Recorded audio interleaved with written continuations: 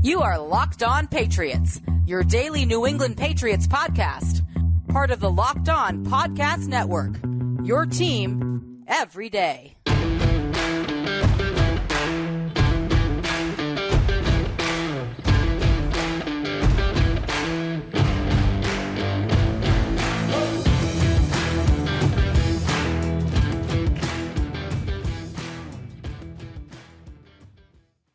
Patriots fans, Raider Nation. It is crossover Thursday here on the Locked On Podcast Network, crossing over the New England Patriots and the Las Vegas Raiders. Their matchup coming up on Sunday, December 18th, Allegiant Stadium in Paradise, Nevada. 4:05 p.m. kickoff here on the East Coast. Over on the West Coast, it is 1:05 p.m. and this is one that has been circled on the calendars of both fan bases. I'm Mike D'Abate, host of the Locked On Patriots podcast. And of course, I am joined by your boy Q, host of Locked On Raiders, and we're going to cross those streams in just a moment. But first, folks, just want to remind you that Crossover Thursday here on the Locked On Podcast Network is presented by our friends over at PrizePicks. Prize Picks is so much fun and it's so easy to play. No competing with other players. It's just you versus the projections available. You pick two to five players, and if they score more or less than your PrizePicks projection, you can win up to 10 times your money on your entry. It can literally take less than 60 seconds to enter. That's right, folks. It's that easy. We love PrizePicks. We know that you will too. First time users can receive a 100% instant deposit match up to $100 with the promo code locked on. That's prizepicks.com, promo code locked on. Q, it is always an honor and always a pleasure to join you on the microphone anytime we get to do any type of collaborative work here on Locked On. But it's especially fun when it's a crossover, and it's especially fun with all of the all of the crosshairs between these two teams right now. And I fumbled that a little bit, but you know what? I think it's appropriate. Uh, there is a lot of synergy between these two franchises right now. Yeah, there really is. You know, we've talked in the past before, and, and we usually talk about the past, right? That's usually what the Raiders and the Patriots have in common is things of old. We talk about the tuck rule, we talk about this, that, and the other, right? But this time, this time around, I mean, you got coaches that used to be with the Patriots, now with the Raiders. You got players that used to be in New England, now with the Raiders. I mean, there's so much going on. There's, you know, not really a whole lot of success right now with the Raiders. And, you know, offensively for the Patriots, there's some struggles. So, yeah, man, there's a lot of intermingling and crosshairs and everything. So yeah, you hit it right on the head, man. You did it perfectly. Absolutely, yeah. And you know what? It is a lot of fun to do these crossovers, and especially when Bill Belichick and Josh McDaniels are staring across from each other on various sidelines. It's always going to be a lot of fun. And folks, we're going to talk a lot about the key matchups, things to watch, what to keep an eye on in this one. But Q, as we all know, matchups between two teams that are right now still vying for a playoff spot. I know a lot of Raiders fans may roll their eyes, but at five and eight, they're still alive in this. New England Patriots clinging to that final seventh AFC playoff spot. Wins are a premium. They absolutely yep. are a premium. And when you look at the two teams and the trajectory that they're both following, this is a must win for both clubs. So, be that as it may, for the benefit of my listeners on Locked On Patriots, what are the big storylines that the New England Patriots fans should keep an eye on when it comes to the Las Vegas Raiders heading into this matchup?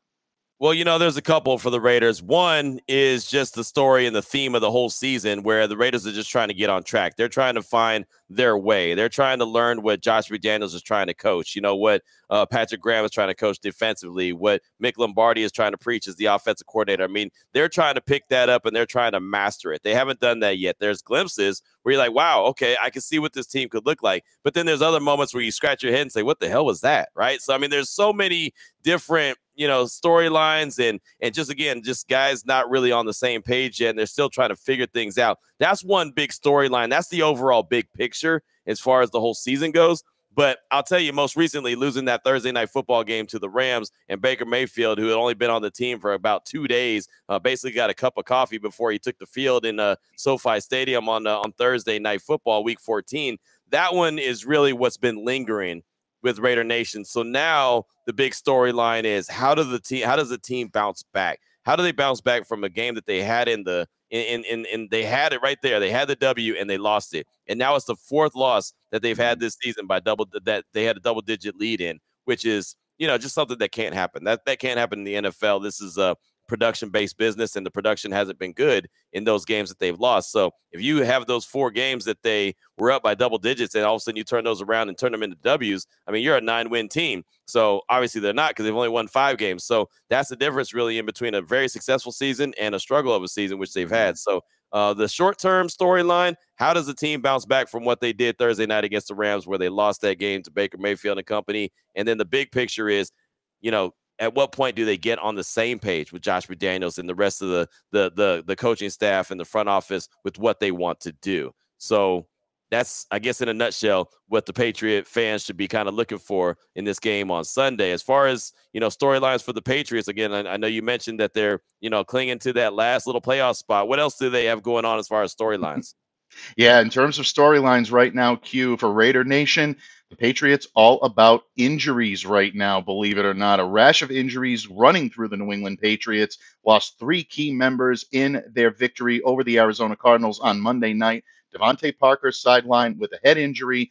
That right now is under review from the NFL and the NFLPA. Uh, some question as to whether or not the independent spotter that was supposed to be monitoring the situation maybe dropped the ball a little bit and did not yank uh, DeVante as quickly as he should. He's currently under evaluation. He did not practice on Wednesday. So, right now, we're concerned and looking at his long term health. I'm being honest, prognosis for him suiting up on Sunday is right now iffy at best. So right. keep an eye on that. Uh, that would be a huge loss to the New England Patriots, one of their top receivers, and definitely their top contested catch weapon on the uh, on offense. But it's more than that for the Patriots. Jakobi Meyers, their top wideout right now, continues to remain in concussion protocol, and because of that, that could end up compromising the New England Patriots uh, wide receiver corps by taking out their two top options. Now, Jakobi did come back to practice on Wednesday, was limited in his capacity. We haven't seen him cleared from concussion protocol, so that's one to monitor right there. But again, it does not end with the wideouts. The two top running backs for the New England Patriots have their own injury concerns. Rhamondre Stevenson suffered an ankle injury on Monday night. He came out of the game, came back in for a little bit, tried to give it a go, left the field, did not return. He did not practice on Wednesday. Something big time to monitor there. He's been one of the Patriots' workhorses so far, and arguably their most consistent offensive player. Then you look at Damien Harris, their number two running back was their number one last year. Rhamondre has leapfrogged him this year, but Damien, suffering from a thigh injury. He hasn't practiced. He hasn't been out there a while. Did return to practice on Wednesday, limited. So keep an eye on him. If Rhamondre can't go, my guess is that Damien will do everything he can to be out there on Sunday. But again, just a rash of injuries for the New England Patriots. One good thing for the Pats Christian Barmore, defensive tackle, missed the last four games. He's back out on the field. Uh, his 21 day window to return from injured reserve is open. So, does that mean that we see Christian Barmore on Sunday? I'm optimistic as a Patriots fan. We'll see what happens. But right now, a lot of questions surrounding the New England Patriots' health for a team that really needs to be as healthy as it can be, especially to get back on track on offense, Q. You know what's funny is that, and you hit it right there on the head. What you said, you said to get back on track on offense because what you told me right there is that hey, the defense is healthy, the defense is fine, and you know what? The defense has been playing lights out. They've been playing some really good ball. Obviously, we all saw him on the national stage on Monday night come up with six sacks, and man, that that's one unit right there that uh, they don't need any extra help. And when you say Christian Barmore has been activated and he's got at least twenty, you know, the twenty-one day window is open now. Uh, I'm hoping you know, for the Raiders' sake, that maybe they just hold him out a little bit longer and let him return after this game on Sunday. Because man, I don't think that defensive line needs too much more help as of right now, at least. Yeah, the front seven's looking pretty good for the Patriots, but yeah. uh, there are concerns at the cornerback position. Jack Jones, the rookie, he's been electrifying in that secondary. He's battling a knee injury right now. Did not practice on Wednesday, so keep an eye on that. And Jalen Mills has missed the last game with a groin injury optimistic that he may be able to give it a go on Sunday, but still, he is limited on his practice ability on Wednesday. So keep an eye on that. Derek Carr and the the uh, the, uh, the Raiders' uh, uh, brain trust on offense, especially Josh McDaniels, going to be keeping a close eye on those two because if you're missing that key component of the secondary, this Patriots yeah. defense can break down a little bit. So that could be very much telltale for the Raiders and the Patriots this weekend, Q. It should, yeah, it should be interesting, and that is definitely going to be a hell of a chess match. I know we'll talk matchups coming up in the next segment. Uh, I guess the final storyline for both of us would probably have to be Belichick versus McDaniels. I mean, that's the mm-hmm. storyline mm-hmm. that that writes itself, and I'm sure that you've had to talk about it a lot. I have to talk about it more than I want to, and more than Josh McDaniels wants to talk about it. But it's one of those, like I said, it's built in, it's obvious. It was there in the preseason when the two teams squared up. It's definitely going to be all week long leading up to this game on Sunday. Absolutely. Bill was not in a talkative mood when we asked him about that on uh, Wednesday. Uh, his response was, Yeah, I've already discussed that. We talked about that in the preseason. And that's pretty much what you're going to get from Bill. No, I'm kidding, folks. He eventually will give Josh his just due. And look, there is no one that respects Josh McDaniels more than Bill Belichick. These two are still extremely close. They still have a very much respectful relationship between the two of them. No acrimony there. So this is going to be a friendly competition. But keep in mind that if there is a kryptonite to the Bill Bill Belichick train. It is former coaches that know his tendencies. Mike Vrabel has had success against Bill in the past. Bill O'Brien has had a little bit of success against him in the past. Josh McDaniels has as well. He beat him when he was the head coach of the uh, Denver Broncos. Mm-hmm. The Raiders got the better of the Patriots in preseason. I know it's preseason, but still, at the same time, something to watch there.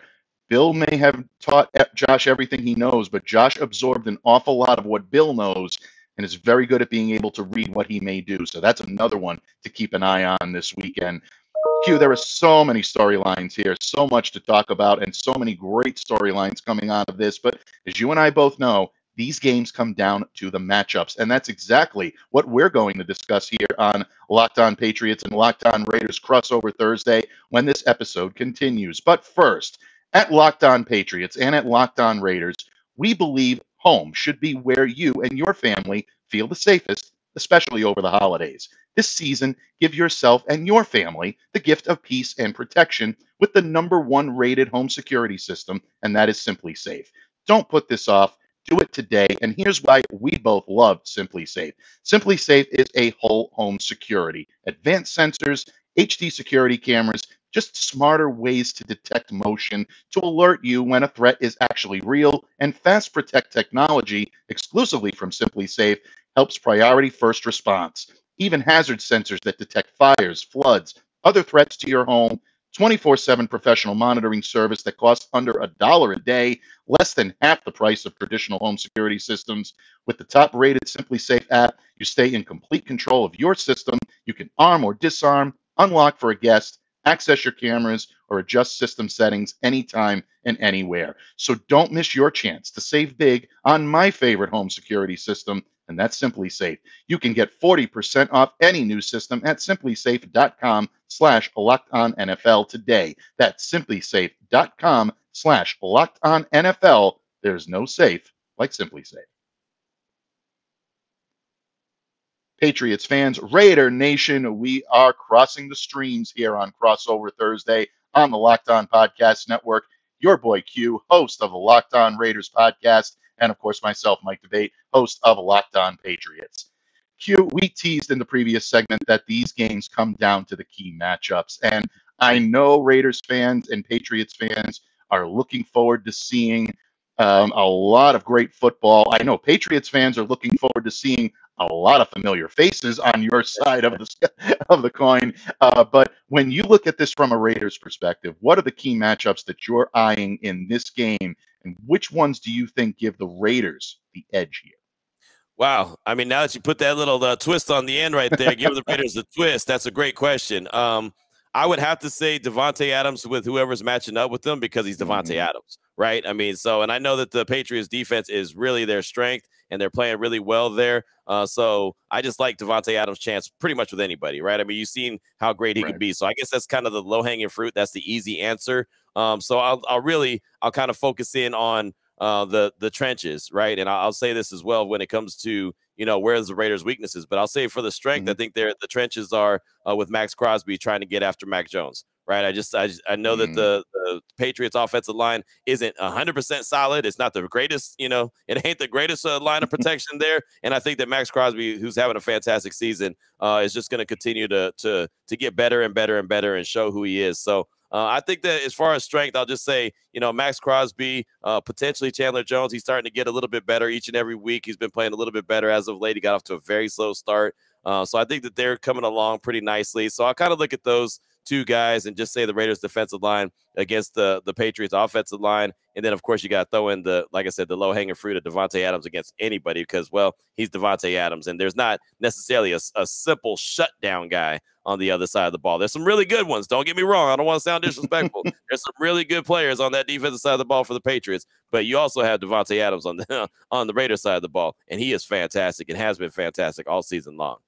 Absolutely. I am in complete agreement. And that is a matchup I'm closely watching is Davante Adams' ability to take advantage of what could be a banged up secondary for the New England right. Patriots. And I alluded to this in the previous segment. If Jalen Mills is compromised, even if he comes back, groin injuries are very, very difficult to gauge. He may be less than 100%. He's been very solid in terms of coverage this year for the Patriots. But if he is compromised in any way, that puts an awful lot of pressure on Jonathan Jones, who has been phenomenal since moving over from the slot into the perimeter area. He's their fastest corner. He's probably their best cover corner right now as well. So when you look at what Jonathan may have to do, he may be matched up in man coverage with Davante if the Patriots are not capable of using that big nickel safety and swarming the uh, the defensive backfield with defensive backs.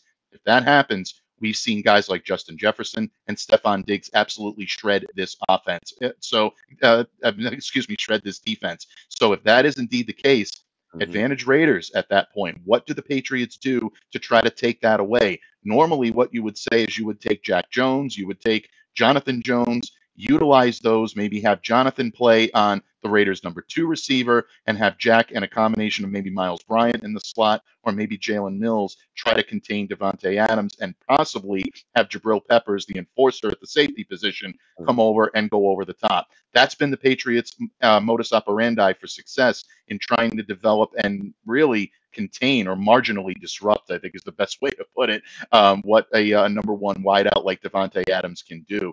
But Davante can beat you in so many different ways that if the Patriots sputter in that regard, Derek Carr is going to eat that up, and Davante is going to feast on this secondary. So that is a matchup I really want to watch very closely, and I think it's going to come down to health on this one.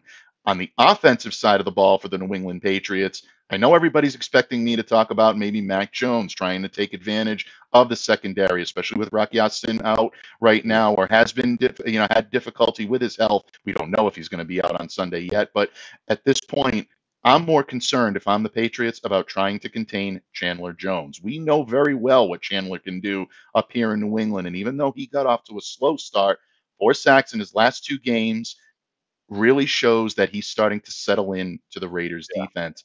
And Trent Brown, for lack of a better term, has not been Trent Brown that we remember from the previous years. He struggled a lot this year. Oh, and I know that, that brings remembers.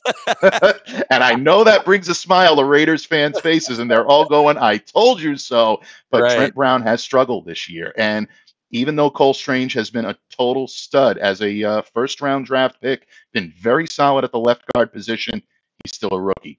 And Chandler Jones is a savvy veteran. That can be a very lethal combination for the Raiders' favor if Trent Brown is suffering and he's unable to provide that protection from the left side. So if the Patriots can control the left side, that's going to be key for them to keeping Mac Jones healthy in the pocket. And I mean, healthy figuratively in the pocket, right. keep him upright, and give him the time he needs to complete the passes that he needs to.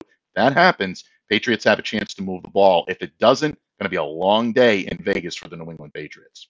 Well, I'll say this flip side, you know, you look at the weaknesses and the matchups that concern me the most when it comes to this game. I'm really looking at the trenches again, and I'm looking at what the Patriots have done not only on Monday Night Football against the Cardinals, coming up with six sacks, but really all season long. I mm-hmm. mean, where they had around 45 sacks so far in the season. I mean, they're Absolutely. they're getting home. They've got dudes on that uh, defensive line, and so uh, Alex Bars went down for the Raiders on uh, on Thursday Night Football against the Rams, and the Raiders' offensive line didn't really it didn't really um, you know rebound that well. They had John Simpson. They slid him into the right guard spot. He didn't play very well. They waived him on Friday. So uh, there's a there's a big question mark on this Raiders offensive line, and I don't think that mm-hmm. the Patriots and that defensive line is a team that you want to have a question mark against when you're that offensive line. Talking to head coach Josh McDaniels on Wednesday, I asked him straight up like, "Hey, what's the challenges that that defensive mm-hmm. line you know brings, and, and how is that going to you know affect your offensive line that's still got question marks?" And he went on for about a minute and 45 seconds about how long how how challenging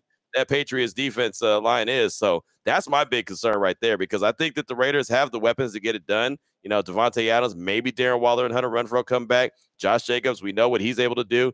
But man, if Derek Carr doesn't have any time and there's no holes for Josh Jacobs to run through, then you mentioned a long day at Allegiant Stadium. It could very well be a long day at Allegiant Stadium, except for the home team uh, will be the ones having the long day in the silver and black. That defensive line for the Patriots is nasty, as you very well know.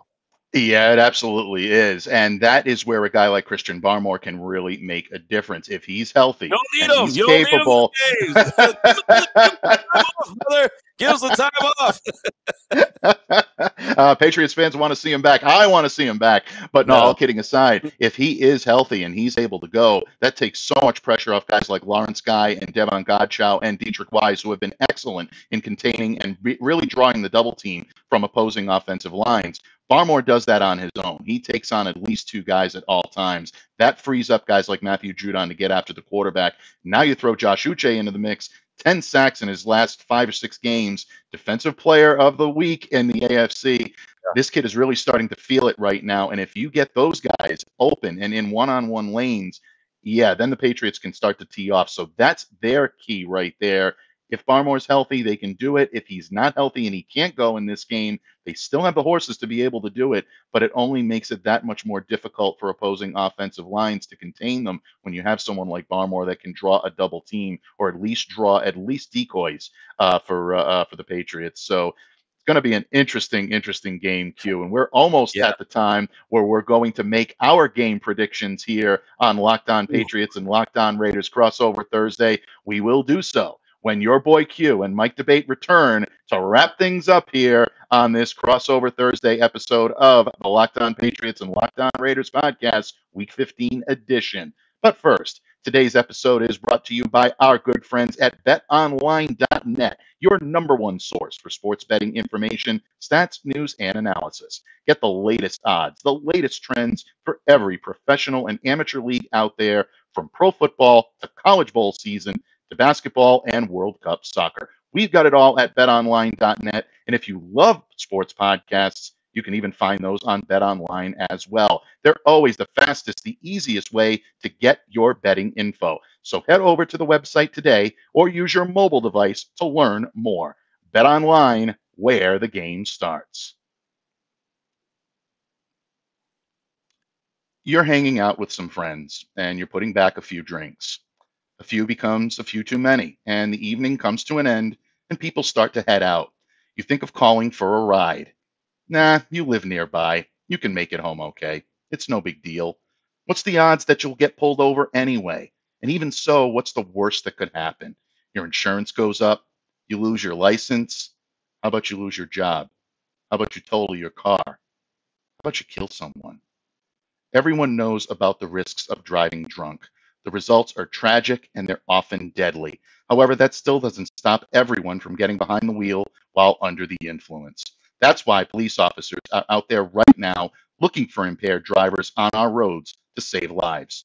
So if you think you're okay to drive after a few drinks, think again. Play it safe, plan ahead, get a ride. It only takes one mistake to change your life or someone else's forever. Drive sober or get pulled over. Patriots fans, Raider Nation, it is always fun when your boy Q and Mike D'Abate of Locked On Patriots and Locked On Raiders lock horns, cross the streams, whatever you want to say. Uh, I absolutely love sharing the microphone with this man, and it's always a lot of fun. We're at that time, my friend. It is time for predictions. The Don't Patriots and the Raiders. Don't do You know what?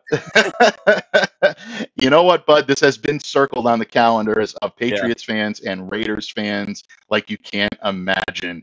It's the opportunity for the Raiders to say, you know what? We've got the upper hand. We've got the younger generation leading our team now, and Josh McDaniels and Carmen Bricillo, and you know the whole the whole nine yards. You've Yep. got you know you've got all guys. You've got Mick Lombardi over there. You've got Bo Hardegree on those sidelines. Yep. You've got Jarrett Stidham. You've got Jakob Johnson. You've got my friend Murph's main man, Brandon Bolden. There are so many. Yeah. Jermaine Eluemunor, Chandler Jones. You name it. It just and I'm, I haven't even scratched the surface yet, folks. so a lot of expatriates on that side Right. of the ball.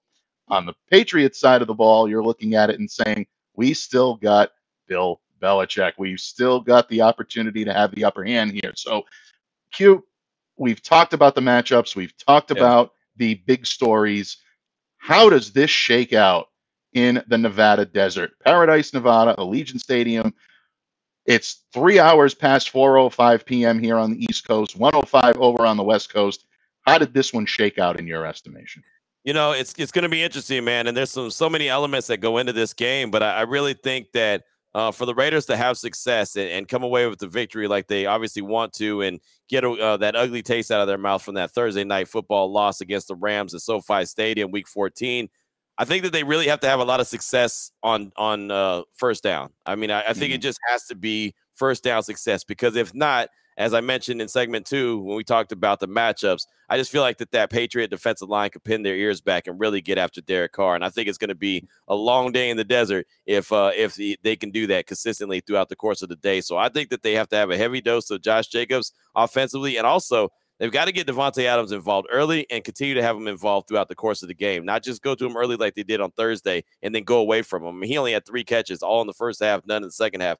That can't happen. They've got to make sure 17 is their weapon. They've got to keep the Patriots honest, right? Don't be able to just load the box or don't be able to just, uh, you know, key in on Davante Adams. They have to have a nice um, blend of, of passes and, and throws. I mean, they have to have a balanced offense. They they just there's a lot of things that are going to go into this game. And again, that, that defense of the Patriots makes me nervous. The offense doesn't concern me that much, right? I, I mean, I feel like that they're going to score, obviously. They're going to do their thing, but it's not like they're some high pro, prolific offense where they're just going to be throwing the ball all over the yard and putting up 35, 40 points, you know, and it's like, oh man, the Raiders don't stand a chance. The Raiders can match up with them offensively, and, and I think they're even better than them offensively, but that defense of the Patriots, man, they make plays, they get after the quarterback, they score points right? I mean, you know, they score points, so that's that's a concern too. So uh, I think this was going to be a close one. Uh, I really am not good at, at score predictions, uh, and normally I have a, a gut feeling if the, if who's going to win this game.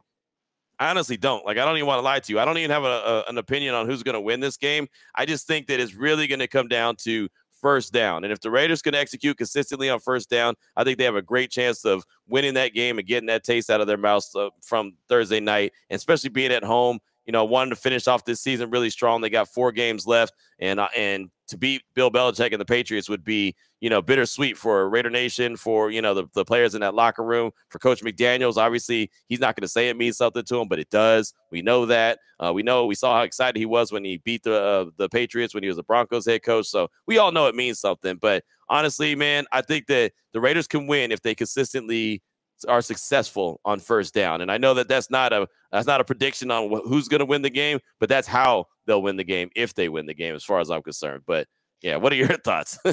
yeah, I think you're onto something there. As as much as the first down issue is very vital for the Las Vegas Raiders, and I completely agree that it is for the Patriots. It's about third down. It's about executing in the red zone, and that's been a difficulty for the New England Patriots throughout the season. Mac Jones has had a very difficult time acclimating himself to the quick game, the screen passes that are being called by Matt Patricia, and this offensive brain trust. And it's caused a little bit of difficulty and it's caused some confusion. It's even caused some expletive laden tirades. I'm sure some of your fans have seen those.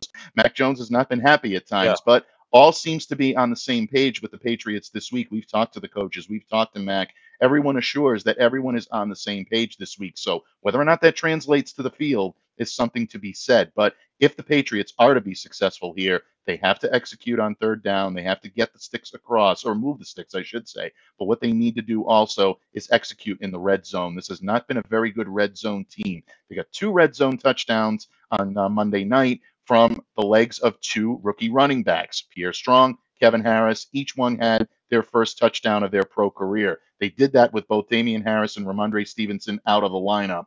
They're not going to have the luxury of sneaking up on people this week because Josh is going to game plan for these guys. He's going to know what their strengths and what their weaknesses are. So, are the Patriots going to be able to utilize those weapons in the red zone? I think you may see them go to the tight ends a little bit more. The Raiders have typically had difficulty containing tight ends, especially in short yardage situations. I believe, and uh, Q, you can correct me if I'm wrong. I believe the uh, the the, uh, the Raiders are yielding just over 50 yards average per game to opposing tight ends. So if the Patriots are going to be able to utilize that dose of Hunter Henry, a dose of yeah. Jonnu Smith, who hasn't been very heavily utilized, but I think you may see him a little bit more, especially if Jakobi Meyers is compromised or out. And if DeVante Parker is out for this game, as we had expected, Patriots are going to need good physical receivers to take on a pretty good secondary in uh, Las Vegas, and the tight ends can do it. So that's how the Patriots win this game: is execute on third down, execute in the red zone. If they can do that, they can definitely put some points up on the board, and that defense can start to take things over. I don't think this is going to be a high-scoring affair, but right. I do think it's going to be extremely close, and I think this one could go either way. I do too. I really do. And and I guess to, to, put a kind of bow on it, I'll say that the Raiders win this game if they have success on first down and don't turn the ball over. How about that? If there's no turnovers in the end of the game, when it says zero zero zero, there's no turnovers, and they had really good success on first down, I say that the Raiders are going to come away with the victory. But if they're consistently in second and third and long, uh, and they turn the ball over a time or two, there's no shot. Bill Belichick, the Patriots, they're too good. Hell, the Patriots defense might just go ahead and score on those turnovers. So uh, that's the way that the Raiders will lose the game. That's I think that that's I think that I feel very confident in saying that. And I 100% agree with you. And I'm not very confident in any aspect of this game, or overconfident, I should say. I'm confident that the Patriots right. can hold their own, but I'm not overconfident in any aspect of this game except for one. And you hit the nail right on the head if the Patriots are forcing turnovers and scoring off of turnovers, then I don't think they lose this game. They've scored more off of turnovers than any other team in the league. 85 points right now off turnovers for the New England Patriots. Wow. That special teams unit has been great. That defense has been great about taking things away, and they've been setting up the offense to make easy scores in those situations too. Really should be higher because the Patriots have settled for field goals in more situations than not when yeah. those turnovers put them in scoring positions. So that to me is going to be the key for the Raiders to contain it and for the Patriots to force it. I think whoever wins that battle comes away with this victory. There you go. I like it. I like it. And I'm I'm with you 100%, man. That's that's exactly what it is right there. Uh, and when I leave Allegiant Stadium on Sunday, uh, it'll be one way or the other. If there's turnovers, it'll be an L for the Raiders. If there's no turnovers, I feel good about the W. So yeah, that's that's a, that's a great way to, like I said, put a bow on this. And I I definitely feel confident there as far as that conversation goes. Absolutely. And at that point, you know what, folks? I don't think we can say it any better than we've said it up to this point. Once again, it is my honor and my privilege to join your boy Q on these crossover episodes, as it is each and every week on Crossover Thursday. One of my favorite aspects about being a part of this network is getting a chance to share the microphone with the great stable of hosts that we have here on Locked On. And we definitely hope all of you in Patriots fandom and in Raider Nation uh, enjoy this game coming up on Sunday because I think it's going to be a great one between the Pats, the Raiders, Old Lion against Young Lion, Bill Belichick versus Josh McDaniels. Any way you want to market this, it's going to be a fun one. So, on behalf of your boy Q of Locked On Raiders, I'm Mike D'Abate of Locked On Patriots. Thank you for making our shows a daily part of your NFL coverage and also your first listen every day. Now that you've made us your first listen, make your second listen our good friends over at Locked On Sports Today. All the sports news you need from all the major sports, and they even give you the take of the day. How much better can it get? Download Locked On Sports Today on Odyssey app, on YouTube, or wherever you get your podcasts. Folks, thank you once again for tuning in today. Stay safe, stay well, be the change you wish to see in the world. Have a great day and enjoy the game on Sunday.